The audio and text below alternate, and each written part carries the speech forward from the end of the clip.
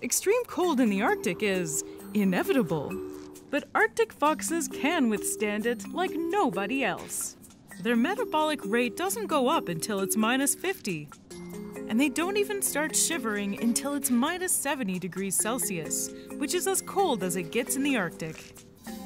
Only the barren plateaus of Antarctica get colder than this. By slowing down their metabolic rate in the cold, their food will digest slower and their bodies will store sugars and fats longer. But it's no guarantee they won't starve.